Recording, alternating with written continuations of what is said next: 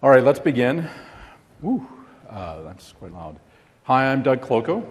I'm a solution architect with Microsoft. Been with the company for a little over 12 years.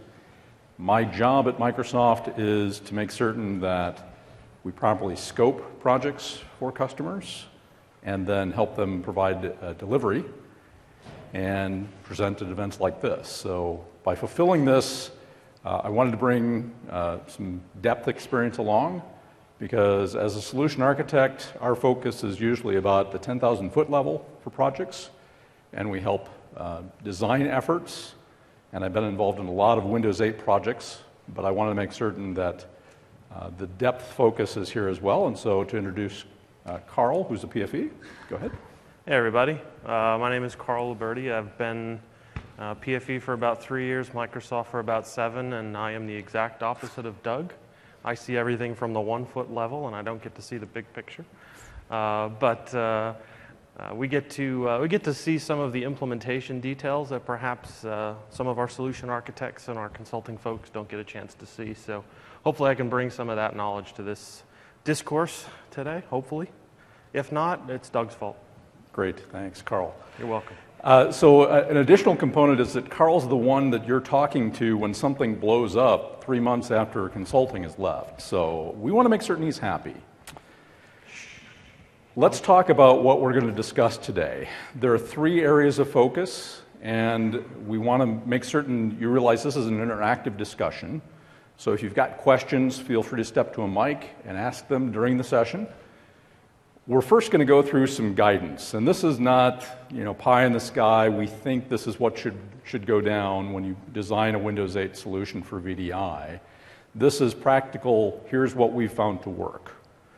The second is the detailed review of the configuration. So it's the bits and bytes what do you turn on, what do you turn off, and Carl's going to go into depth there. And then we'll talk in, at a, a much broader level what we do about performance. So there's a lot of performance tools out there, some from Microsoft, some from great third-party vendors. We'll mention those and talk through them. And uh, certainly we'd like to get you more directly involved with those uh, third parties because of their capabilities in that space.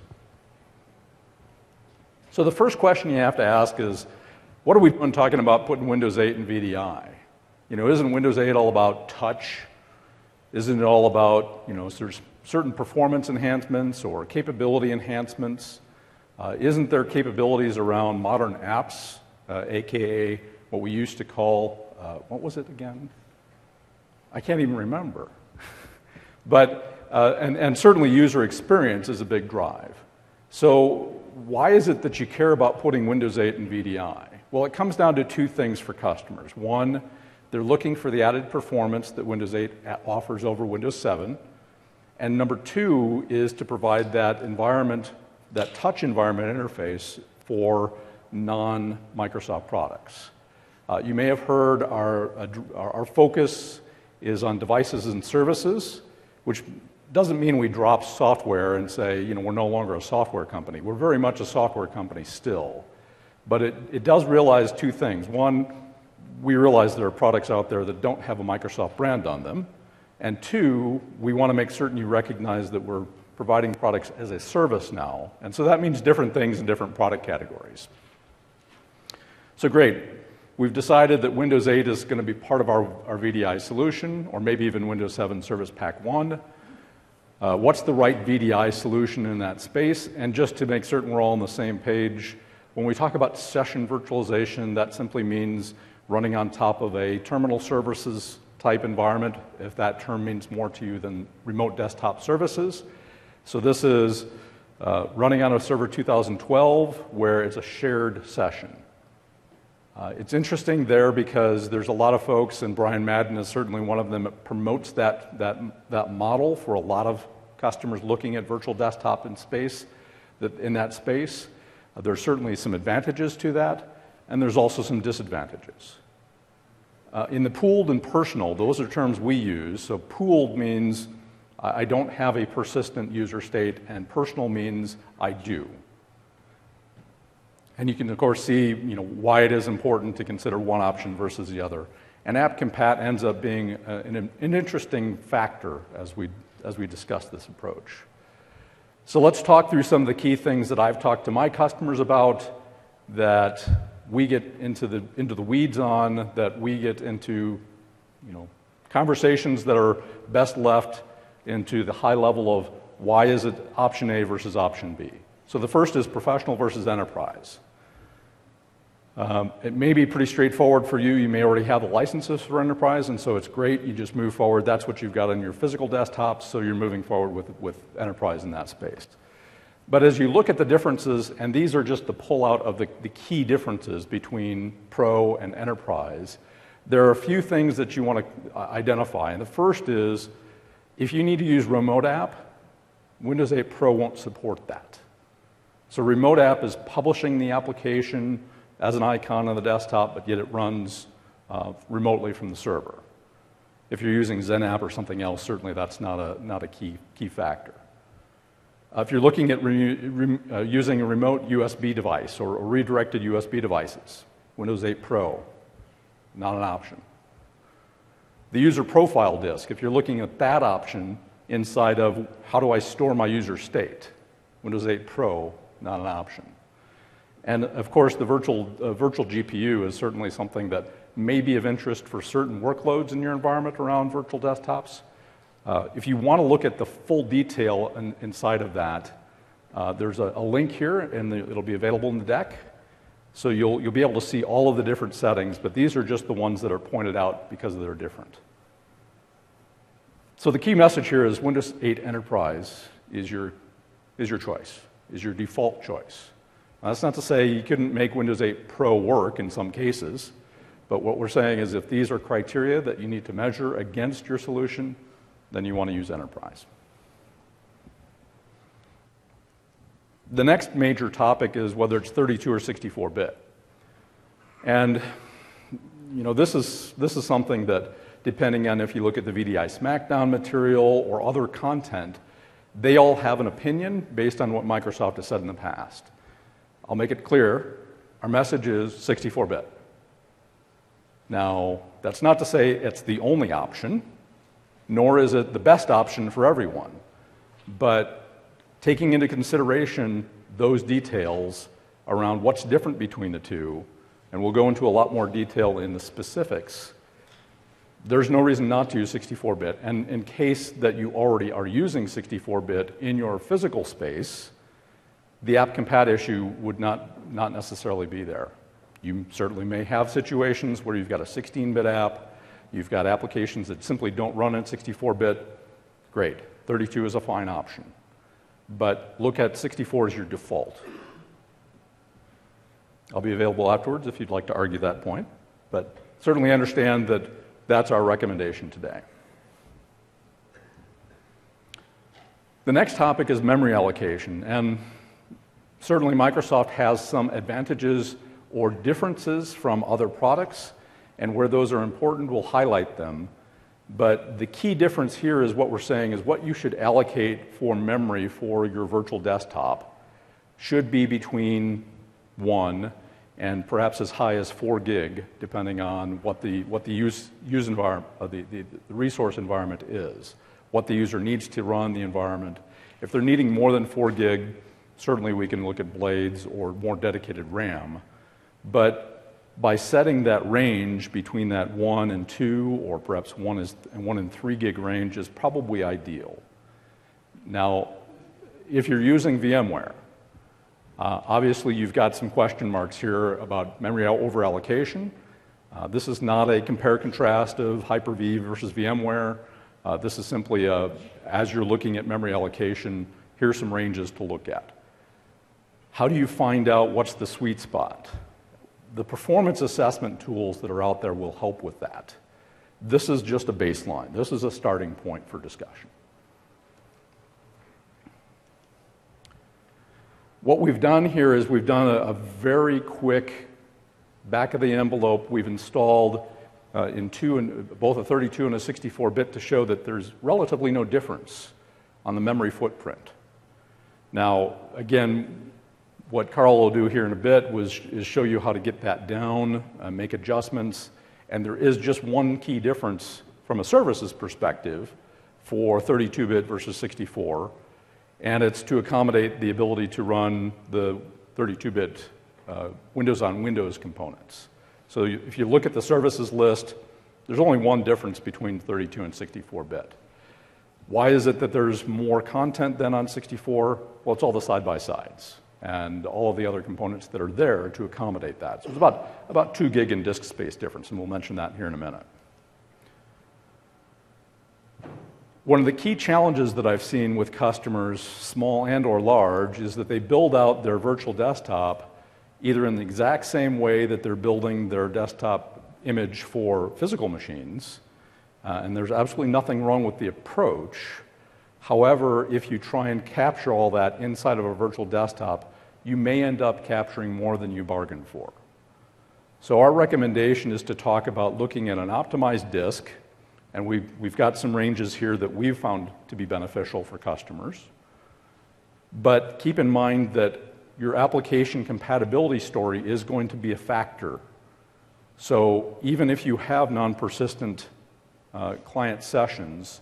If you've got applications that need to be inside of those sessions, that will change the, the amount of disk space, of course. That's very straightforward.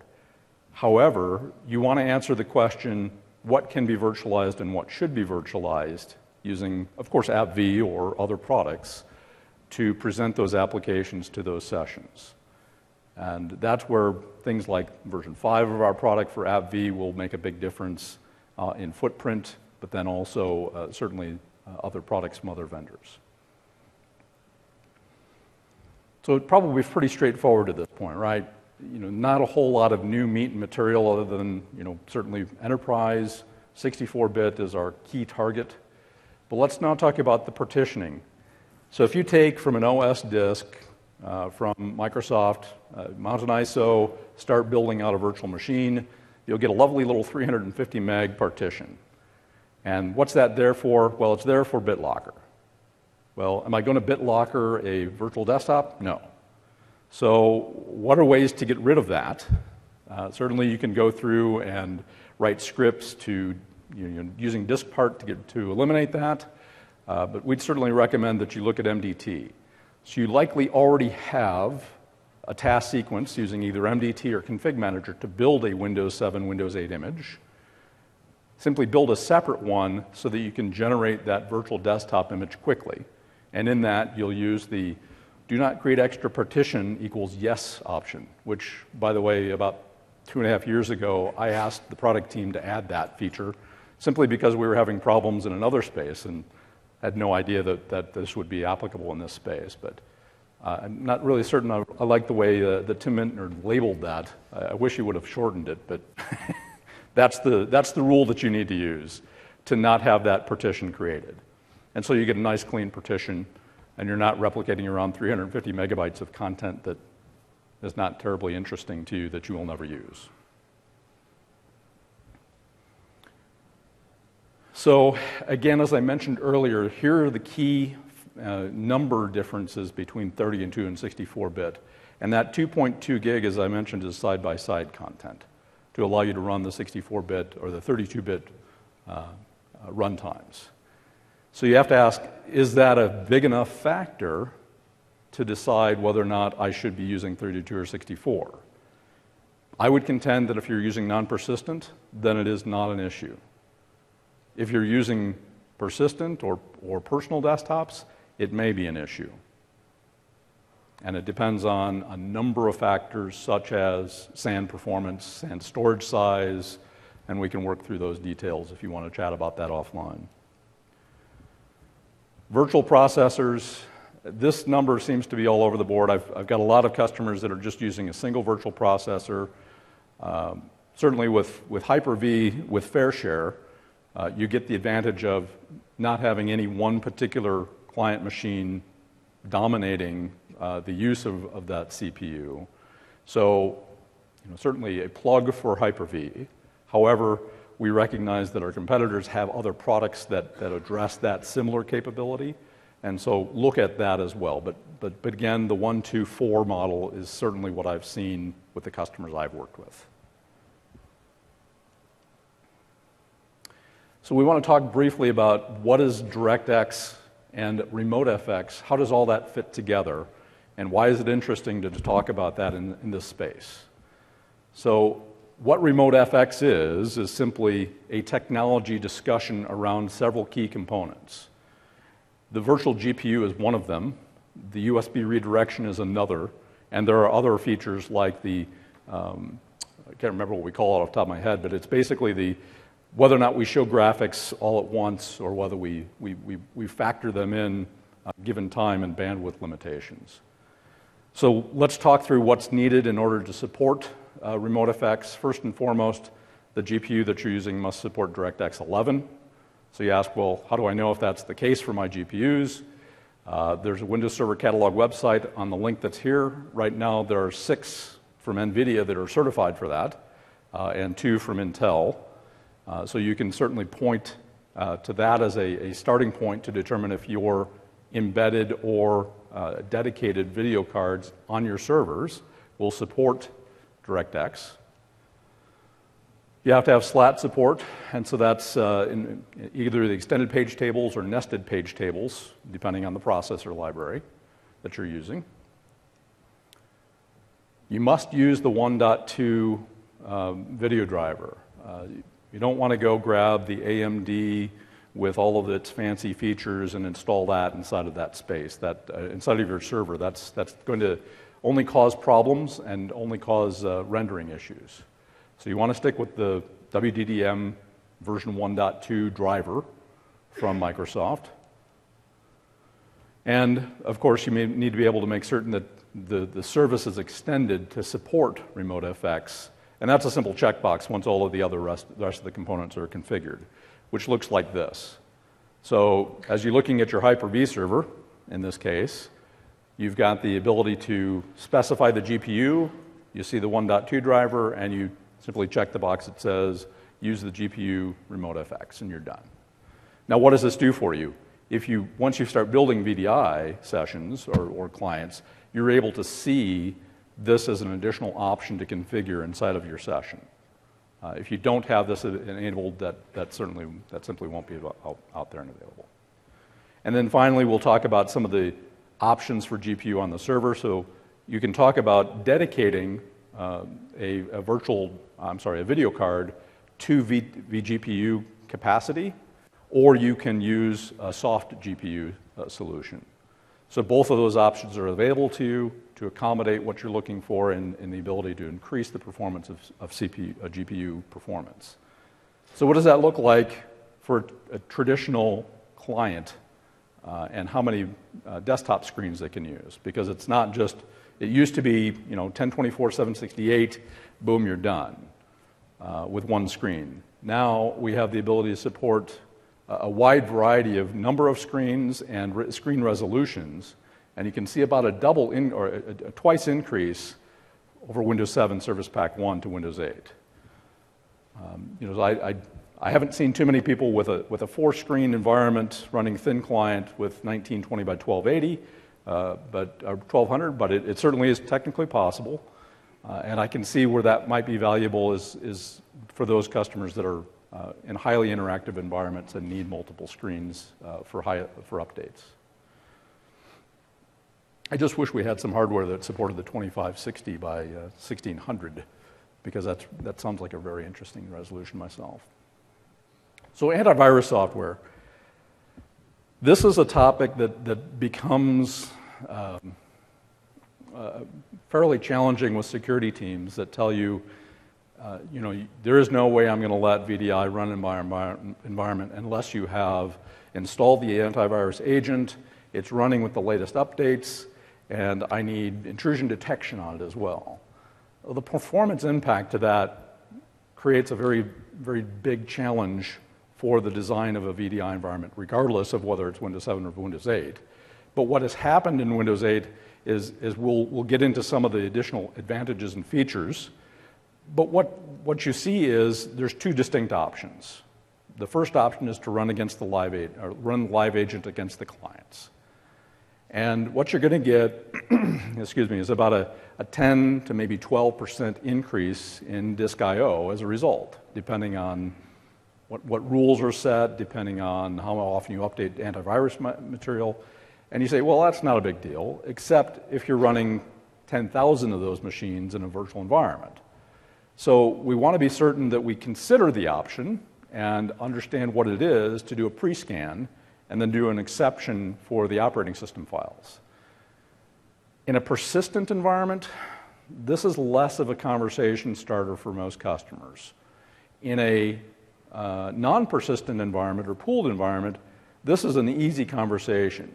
If I get a notification about a virus, shut the machine down, bring it back up, I'm done.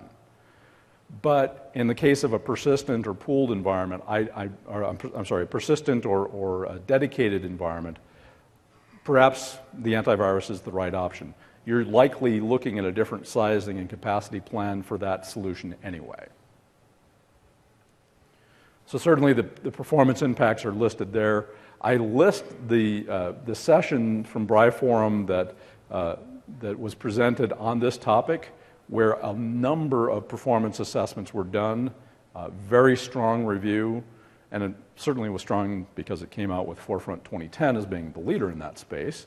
But it's, it covers all of the major vendors in, that, in that, that category. So you want to take a look at that. Again, the link is there. I highly recommend it. So great. That at a high level are some of the key decisions what have I missed? What do you have challenges with? What are your questions in that space?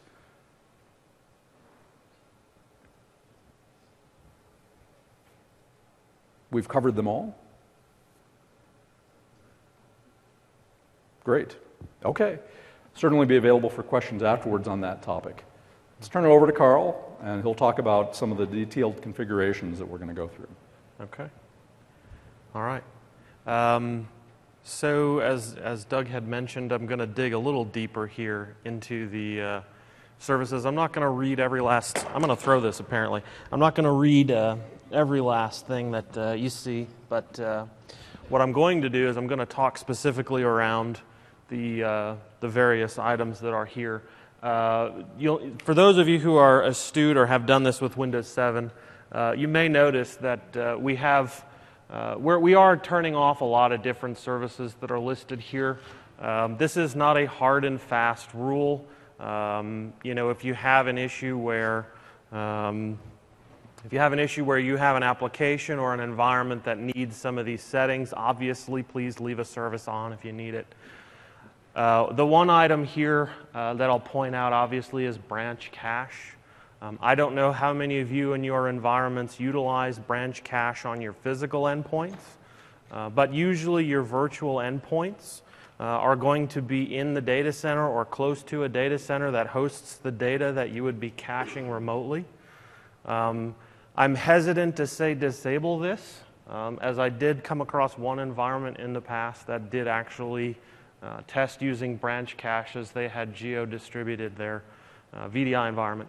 Uh, for network reasons. Uh, it, was, it was better to have the virtual endpoints closer to the user and connect uh, across the pond, so to speak. Uh, but in general, branch cache gets disabled pretty much uh, across the board, but you may need that. Um, uh, moving on, you notice that I've got a couple of things here. I don't know if any of you have distributed link tracking client services running on your servers. Uh, so for those of you who aren't aware, the distributed link tracking client uh, tracks links to files uh, on NTFS volumes. So if you move shortcuts around, uh, it fixes them automatically. One of the things that's maybe a little lesser known, um, if that service is not running on the server, it does not work over the network to that server. Uh, this service was enabled by default on Windows 2000 server, but that was the last server that we have it running by default. Uh, so unless you are turning that on on your servers, this becomes less interesting on the client, uh, and it's a waste of resources. Uh, the other thing, obviously, we've got EFS, uh, encrypted authentication, pro- or uh, I'm sorry, extensible authentication protocol. Again, if you're using EFS on your on your clients and you want to move that into your virtual environment, and uh, you don't mind the perf hit to do that, um, obviously go ahead and do that. Uh, extensible, uh, extensible authentication protocol. You know, we're talking about things like NAP 802.1x, right? So if you're doing that in your environment, please don't turn that off. But if you are, uh, you know, you probably already know that. But if you're not using it, you can go ahead and disable that service as well. Um, fax, function discovery, we, we don't generally have people publishing UPnP stuff from their enterprise desktops across the network. Um, the uh, file history service, this is new to Windows 8. Um, again, I don't know how many of you have researched that in your environment or, or gone down that road to see if that's something you're going to use enterprise wide. Um, I tend to turn that off. Uh, home group stuff for obvious reasons. Uh, the Microsoft account sign in assistant, uh, the ubiquitous sign in with your Microsoft account, if you disable that, uh, users won't be able to sign into that machine or that virtual instance uh, with a Microsoft account. So please know whether or not you want that enabled before you go turn that off. Um, yeah. On the Microsoft account topic, the, uh, the, customers that I've worked with have often asked questions such as, you know, is there a way, you know, because if you don't have a Microsoft account, you can't use this, the Microsoft Store. Uh, is there a way to auto provision that, i.e., through Active Directory, through some sort of a linking? Uh, the short answer is no, not today, uh, but we anticipate that for the future. So the, the secondary question is well, if I don't have access to the store, does that mean users can't install applications? And the short answer is again, not necessarily. There's two options. One's considered deep linking, which is not necessarily an option for everyone. And then the second is side loading.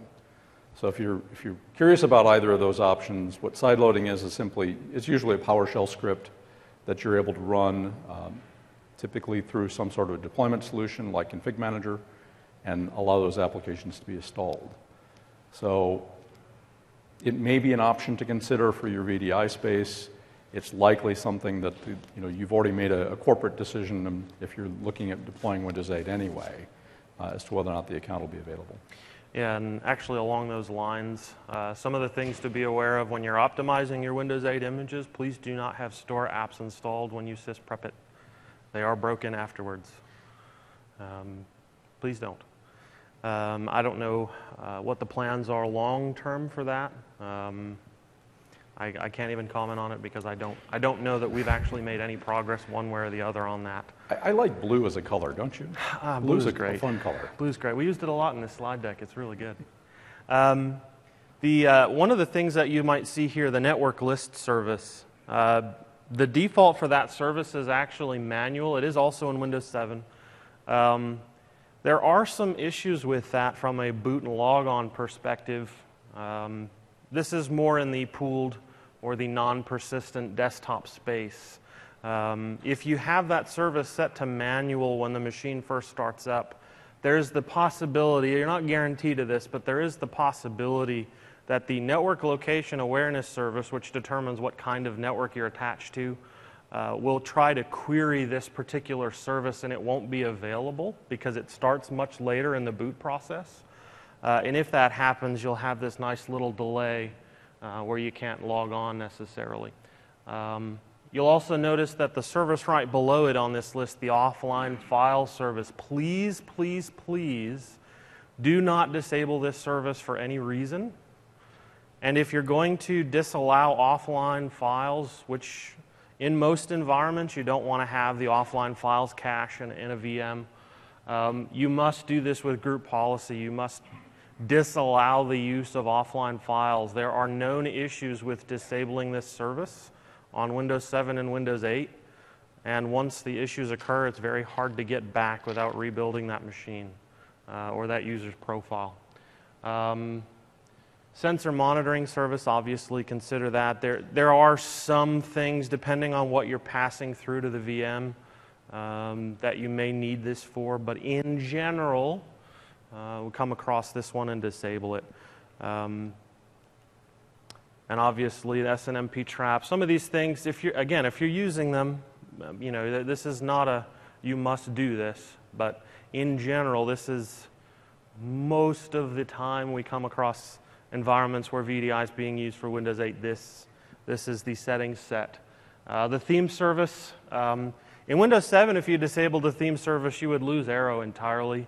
Uh, in Windows 8, you actually don't lose. The user, the user interface does not change at all, but there are some things that happen behind the scenes that can uh, either increase or lessen the overhead depending on whether Remote FX is enabled. So that's why this is in consider mode. Please don't turn this off if you're going to use Remote FX. Um, volume shadow copy, again, we're talking about optimizing uh, potentially for density. Uh, so we want to try to reduce the number of IOPS, we want to reduce the memory usage, we want to reduce anything that consumes CPU time. Um, Windows Defender service. Has anyone ever tried to disable Windows Defender on Windows 8? You'll find that it's nigh impossible. The service will fight you at every turn uh, because the security in the registry on that key belongs to, it actually belongs to system, but even the system by default can't kill this service. It's for your protection. For your protection. But if you're running another antivirus product, uh, Windows Defender can actually be a bit of a detriment. Uh, the only way really to do this in a supportable manner, yes, you can hack the registry and take ownership and give yourself permissions and to say, please don't do that. Um, use group policy to kill that. Um, we ran into this initially when we were going through setting this up for Windows 8, and it took me like three days to figure out how to kill that. It shouldn't have taken me that long. Um, Windows Search, obviously, if you disable that service, the, uh, the search index is not built, so there's a lot less disk overhead on the system running as normal. But when a user does a search from the start screen, uh, there is some disk overhead as Windows starts hitting the disk to uh, enumerate what's there. So it goes back more to the XP style search where there was no index and everything had to be done live. So there's a trade off. This is running, you have some potentially low level uh, background I/O going on at regular intervals. If you turn this off, uh, if the user does a lot of searching, it can actually be worse. Uh, so it's, uh, it's again knowing your environment. Uh, I'll, I'll, probably say that a lot if you talk to me about this. You need to know your environment so that you know what to do. Uh, but for the most part, these are safe. Um, one, one, additional point on that. So you saw a lot of those services, the, the default state was manual, and some of them we were dis, even were disabled. And so why would we recommend you go in and force, forcibly disable that service? For those that are manual or either manual with a trigger trigger start. Uh, they could start on their own based on some other dependency. So it's certainly recommended that you hit the disable so you're guaranteed that that service will not start. Uh, and then you don't have to worry about why you're getting spikes in, in, in uh, IOPS in your environment. Agreed. Um, some of the other things that we do uh, recommend, obviously, is configuring the event log to be a minimum size. Um, we've reduced the number of things running. Hopefully, we've reduced the number of eventing uh, things that are going into the logs. We want to reduce that. The minimum size is uh, 1028K. Um, we want to try to reduce that event log size. We want to modify the retention policy period. Um, I will talk to you about a script that we have uh, that we can do to automate a lot of this uh, in a second. I'll show it to you. But we're also talking about disabling hard disk timeouts. Uh, again, in a, in a VDI environment with shared storage, IOs may take longer. Uh, we want to try to avoid logging those things to the event log uh, on a regular basis when we kind of know already why the I/O is slow. Um, we've disabling uh, some of the NT, like NTFS last access timestamp, try to reduce some of the other uh, background I/O and things that happen when NTFS uh, objects are read and written. You can imagine, especially during boot and some of the maintenance periods, there's a lot of disk activity going on. System restore is another one. Uh, we generally find that's not very helpful in a virtual environment. Um, killing hibernation, doing some disk cleanup before you sysprep, uh, some of those things. Um, there's one thing that we do sort of recommend that is somewhat of a security change uh, that some other folks at Microsoft get mad at me for doing. Uh, but in a, for example, in an environment where you don't have a, a remote FX or a, a pass-through GPU, the, uh, the uh, consent on secure desktop for UAC prompting can be a very slow process in the virtual environment, and we recommend that you consider disabling the secure desktop prompting um, because there is actually some really heavy uh, GPU activity that goes on when that happens um, to dim the screen and provide you a view of the secure desktop. Um, again, this you, you may or may not want to do that. Um, Well, it I certainly put that, I put that out there because it does have a, a very large benefit from a performance standpoint, but uh, it is providing that UAC prompt now on the. You, you shouldn't have, you shouldn't have UAC prompts in the VDI environment anyway, because everybody's running a standard user, right? Right, exactly. This should never go. happen, so it's not a big There you deal. go. Yeah. Uh, some of the things you may notice that I don't, sorry about that, some of the things you may notice here uh, that I don't have listed. Um, obviously, we're not disabling UAC. That's not a supported configuration. Uh, less secure. I don't want to call it insecure, but it is less secure. Uh, we're not disabling things like ASLR. Uh, that's, again, uh, some of the uh, virtualization products out there may want you to do that so that they can do memory dedupe. Uh, you are reducing the security footprint of the operating system, and you're also doing something we don't support or test. Uh, disabling IPv6, uh, disabling the Windows Firewall service. IP helper. All of those things are unsupported. Please don't do them. Um, you do not want to be in an unsupported configuration on 20,000 virtual endpoints that, yeah, you don't want to be there. Performance, in fact. Yeah, don't do that. There, there's actually not a huge performance benefit for doing any of those things either. Uh, there's a bit of a misconception there. Uh, we do have, again, some of the resources. Some of you may have seen this before. This has been out there for a long time now. Uh, but a gentleman who used to be in MCS uh, uh, wrote this by Jonathan, Jonathan Bennett, wrote this IO optimizer that's uh, out on autoit.com. Uh, provides a nice UI, doesn't go very deep, uh, not up to date for Windows 8, uh, but it is sort of the starting point for where we moved along, I guess is the right terminology. Um, the uh, the uh, article here that you can take a look at, we've got this here, uh, which lists that and quite a few other, including uh, non Microsoft vendor guides, links to documents by Citrix, VMware, um, some of the other vendor guides, some of the documentation internally at Microsoft that we've got up there. So, this is a link that will take you to all of those. Um, a nice little table with all those things, including a script. Um, this is the Windows 8 version of this. There was a Windows 7 version. I don't know if any of you are aware that this existed. Uh, we gave Jonathan Bennett the credit uh, he deserved for starting this. We did steal some of his code, and I use the word steal loosely because he did give us the okay to do so. But uh, we, uh, we wrote this for Windows 8. Uh, there is a version for Windows 7. Um, you'll notice that this was last updated yesterday. Uh, we, uh, we found a, an issue with the script. Somebody ran it and said, hey, it did something. And oops, sorry. So we turned that off. But uh, there, this version is uh, fixed. There are no typos, hopefully. Oh, comment typos are okay. I, my, my typing skills are very poor. But uh, when you run this script, people are generally concerned with memory footprint, even though CPU and disk I/O actually end up being usually more important from a day-to-day user experience perspective. But everyone likes to look at the memory numbers to see if whatever they did worked. Uh, so I just wanted to give you a screenshot of what a Windows 8 64-bit fully patched machine looked like before and after.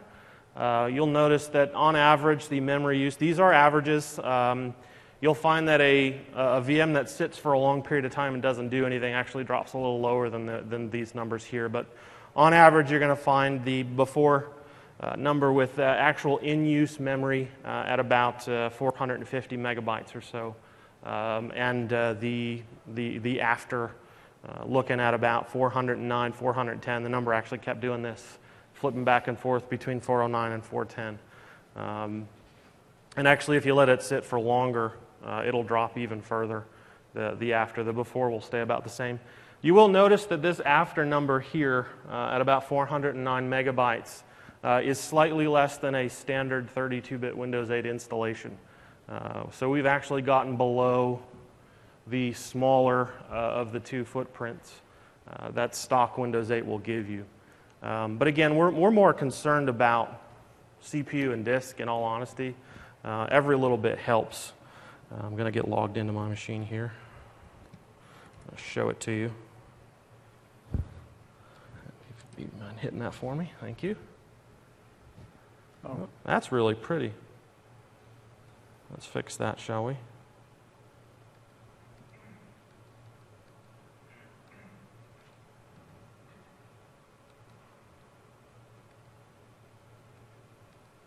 don't know why it's doing that.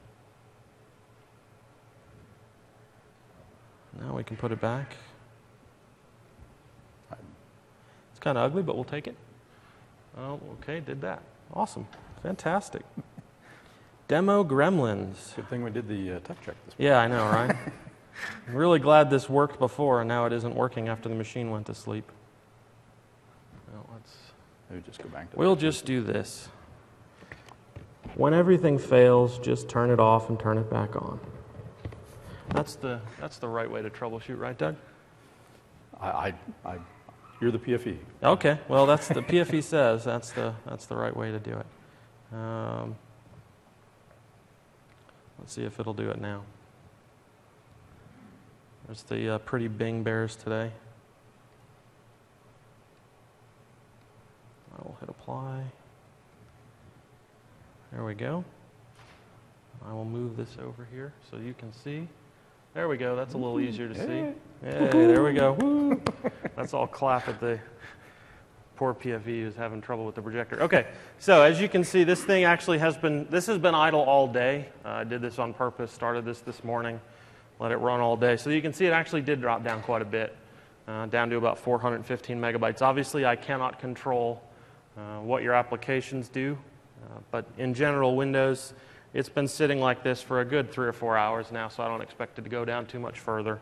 Um, but what you can see is there's an after here. I actually created an after VM just in case I had more demo gremlins. Uh, this is what it looks like afterwards. After you've run your script. After the script, yeah.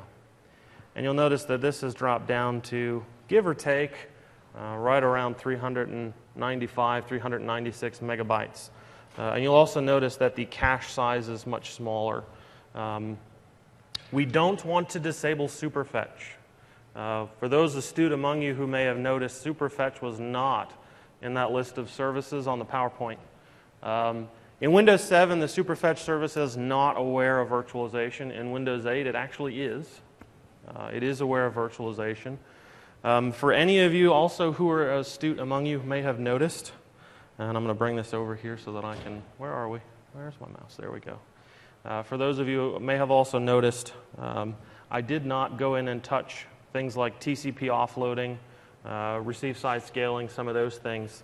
Uh, and the reason being, uh, Windows 8 actually manages to figure that out for you as well. Uh, if it determines that the network virtual, the virtual network card that you have in the virtual machine does not support those features, it actually goes ahead and turns those off. Um, I have actually used Windows 8 in customer environments. They're not using Windows 8, but I have used Windows 8 in customer environments to figure out what the right settings should be for those same settings in Windows 7 on that virtual platform because Windows 8 figures those out. Um, so when I install this into Hyper-V, for example, all of the network offloading gets turned off because the virtual NIC does not support it on my machine. Um, but I want to show you what happens when you run this script, and if I can find my mouse, I'll do it. There we are. Got captured by one of the VMs.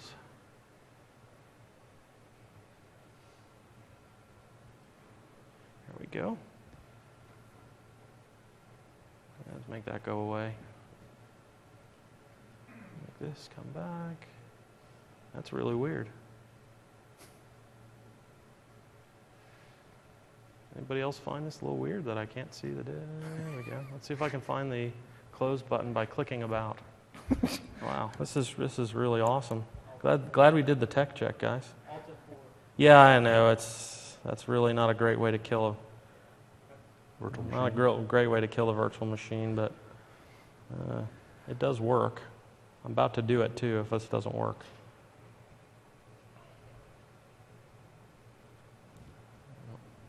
You're just going to have to live with this really poor display. I can't do it. So there we go. Make it go away. Kill this. I'm going to run this script. I'm going to show it to you as well. And uh, do my best to keep it on screen so you can see it. Uh, you'll notice, obviously, this is the version that was updated yesterday. Um, and when we go ahead and take a look through it, um, there's a lot of things in here. We've got a lot of constants. So, again, if you want to go ahead, and some of these things are a lot of those things where I said consider uh, in the slide deck, we've got them uh, broken out here so that you can true or false them. Um, we've also got the ability to install .NET 3, um, given that that tends to be one of the other challenges that we have in Windows 8 in general with customers and applications that require it. Uh, so any way to make the machine a little more useful at build time and not afterwards is a good idea. Um, but um, here's our, our section where we're go, going ahead and doing the service configuration. You also notice that we're touching scheduled tasks on some of these. Uh, there are about 36 scheduled tasks on a Windows 8 machine that we go ahead and recommend you turn off uh, because either the service that's associated with them is disabled or the uh, scheduled task just is not required in a virtual environment. Uh, it does not really do anything outside of a physical environment. Um, here's the disable Windows Defender service section that I told you about. You'll also notice there are four, count them four, scheduled tasks for Windows Defender. Um, you need to kill those as well because they will still try to run even if you've disabled the service. Um, we're also going ahead and turning off things like hard disk timeouts, turning off hibernation, disabling system restore. Um, if you look through this script, you may notice that there are some calls that use WMI to do things, and they're not direct registry edits, even though they can be registry edited. For example, uh, there's actually a really good one right here at the top. Um, enable RDP connections. Everyone knows that you can turn on uh, fDenyTSConnections in the registry. Just set that to zero and RDP works. The only problem is there are known issues with doing that. Uh, we want to try to avoid those. Using WMI to toggle the setting itself actually avoids those issues. I am loath to use the word bug, uh, but we'll call them issues. Um, but they they are that way on purpose. I don't want anyone to see those and go, why, why did that guy do that? Um, I actually did and then found out that there are bugs. Um, don't tell anybody I did that, even though it'll probably be on the recording here across the internet. Um, I'm going to pretend like Doug said that if anybody asks. There you go. Let's see. Here's the other scheduled tasks that you'll notice that this list can get really long. Um, this actually, again, the, there's a link to this in the deck. Don't feel like you have to try to copy this down as I scroll. Um, but uh, setting the event log size, for anybody who can do that, um, that is a skill that you can market, by the way. Um, but we're doing a lot of things here. Uh, performing a disk cleanup, um, and then there are actually some user specific settings, uh, especially around things like uh, IE offline screen composition, turning off some of the screensavers, uh, some of the eye candy, things like that. Uh, those are our recommendations from a general desktop session. But this is what it looks like when the script runs. And uh, I apologize that I'm sort of doing this the hard way here, but I'm going to do it this way anyway. There's my UAC. That's not on the secure desktop, by the way. Doug said to do that. It looks good. It does look good. I'm going to let this run, and as you can see, it's flying through. Some of these things, anyway. Hey, look, that value already exists. I have actually run this on this machine before. Here's the disk cleanup. This runs, if this is a new machine, this should run for maybe a minute. Hopefully, less for the sanity of the folks watching this in the room. So another thing to point out while we're waiting for this to finish up is there's a PowerShell version of the script that we're writing uh, and so as soon as that's available, we'll, we'll link it on the same page for Yep. you as well. Yeah, we originally wrote this in VBScript uh, a few years ago. Um, most of the administrators that I came across were afraid of PowerShell still at the time, and I wanted them to use this. So I did it in VBScript, and it sort of has lived on in VBScript ever since, even though I should have done this in PowerShell a long time ago. Again, I'm going to blame Doug here. This is definitely going to take a while, so just as I was about to click cancel, I scared it into submission. It's that old mouse move uh, criteria. And You it's done. mouse and it Yeah. goes. it And goes it's done. And again, the, the reason we script this is because we want you to be able to automate it. Um, so I am going to uh, set the screen resolution on this to be really, that's, that's not bad actually.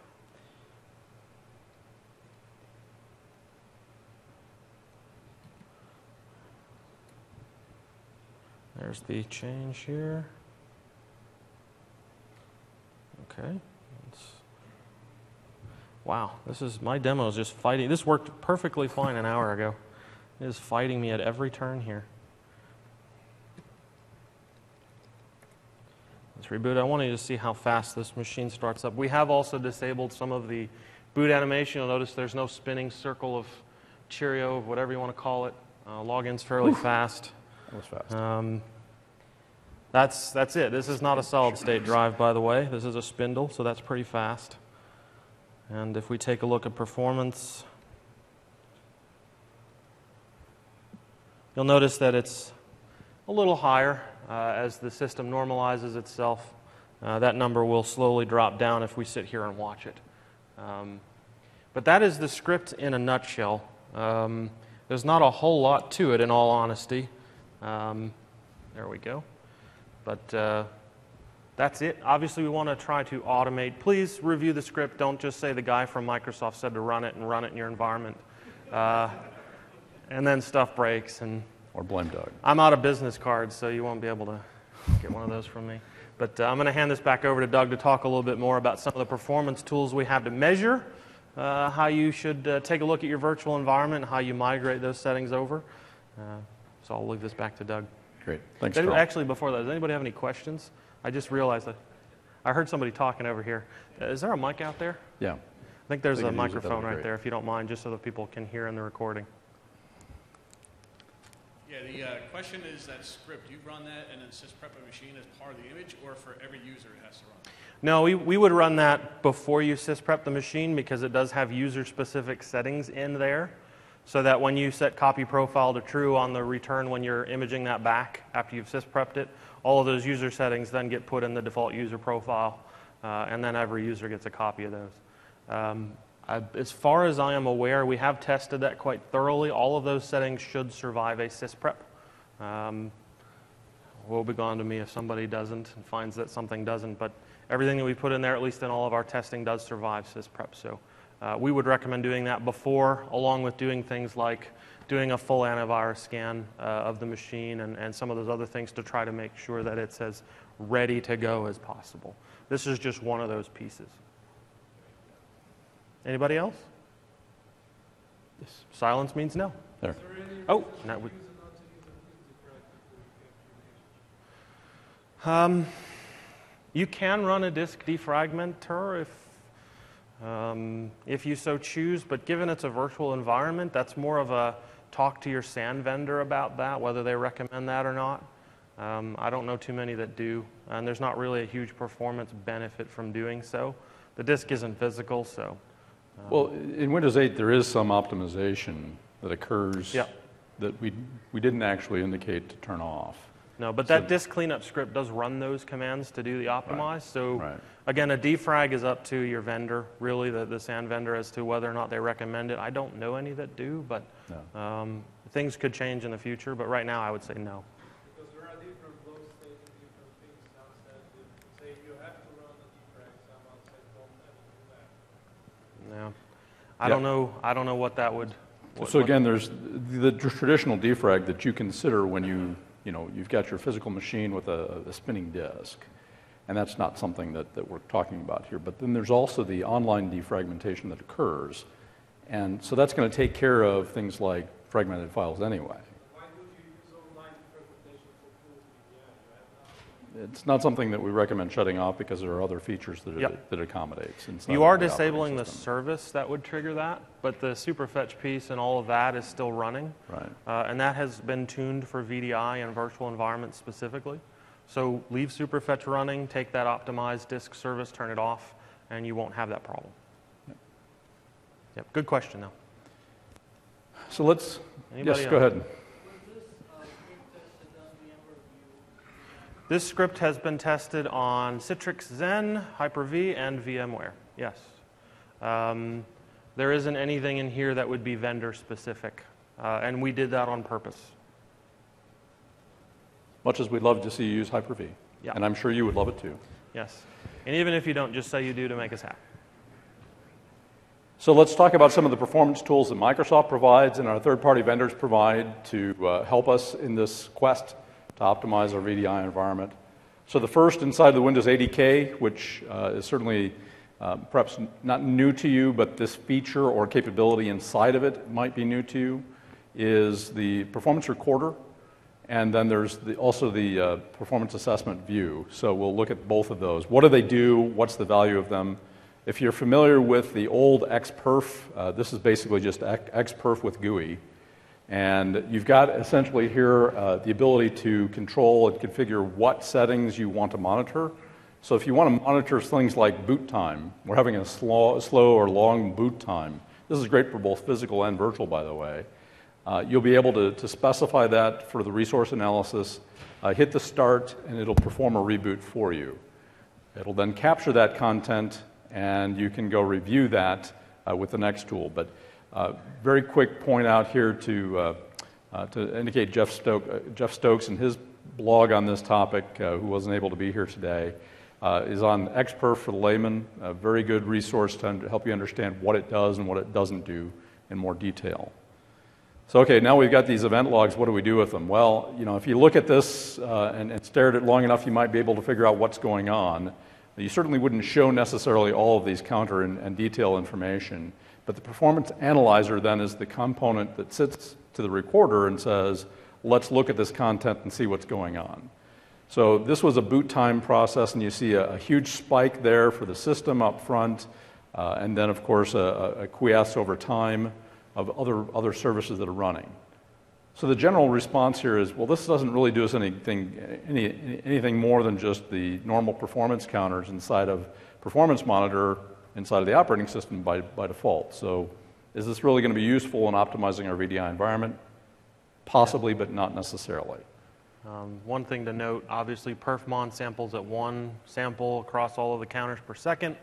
Uh, the Windows Performance Recorder, well, technically the event tracing for Windows subsystem is what we're driving that's built into the operating system, but it traces at about 30,000 events a second, so it's a bit more granular. Um, and we do have the ability to trace mini filter yep. activity in Windows 8 and Server 2012, so we can actually see what's going on from a filter perspective or the, the FS filter, uh, filter manager. So um, so you, use this to, to solve a problem, yeah. not necessarily to optimize your environment. Correct.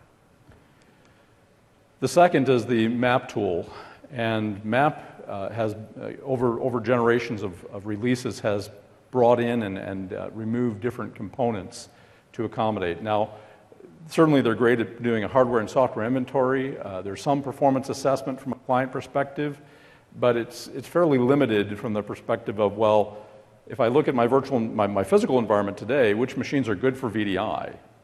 That's a hard question to answer, first and foremost, and this tool doesn't really do that for you. Uh, so, MAP is a great tool to collect data that you may not already have.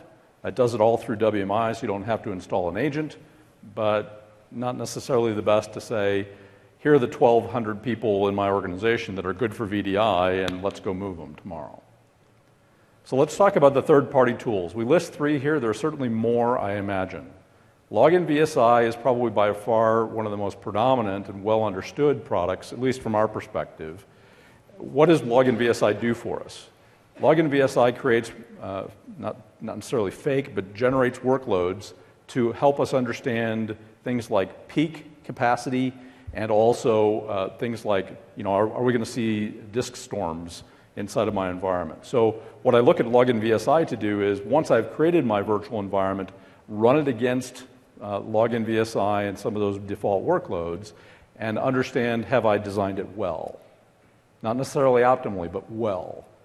On the other hand, you've got Liquidware and Lakeside, and what they do is they assess the existing environment. So you're deploying a client, you're watching the, those clients over a period of a, a week, two weeks, maybe three weeks, collecting data, and then determining, oh, these, these customers, these users are good for VDI or not.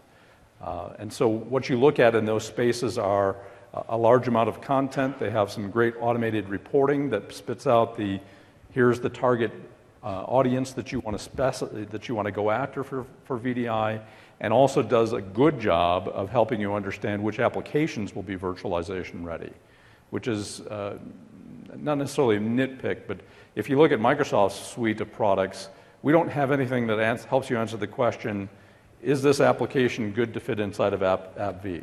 Right? We don't have a good, uh, a good rule. We don't have a, a message. We, we have some guidance that says as long as it doesn't have a driver, as long as it doesn't use a COM or COM plus agent, you know, it, it's going to be a good fit. But until you actually go and sequence it, you won't know. Uh, so AppDNA and ChangeBase are also good products in that space to help you with that, that assessment. Uh, and, and so we, we, we look at the combination of multiple, multiple tools to help us in that space. If you're using ThinApp, uh, of course, they, they will have uh, reports in that space as well. And so that's what we have for this session. Now, we're happy to, to stick around for additional questions, but I'd like to ask a, a few feedback questions. So, first and foremost, who's using VDI in Windows 7 today and planning for Windows 8 uh, in, a, in their space? Okay. Couple over here, couple over there. So it looks like about a third, maybe, maybe 40%. Uh, who is doing that on VMware today and considering Hyper-V? Couple few? Couple. Okay, great. Thank you. We like feeling better about ourselves and our products. Uh, and then last, uh, how many are, are considering using AppV5 uh, inside of their VDI environment and looking at targeting that space? Great, good, good number of those. Great, those are the, those are the, that's the topics we wanted to make certain we covered. Uh, Adam Carter is here as well, product team representative for VDI, so please feel free to come up and ask us questions uh, at the end. Otherwise, uh, it's beer 30. Thanks for your time.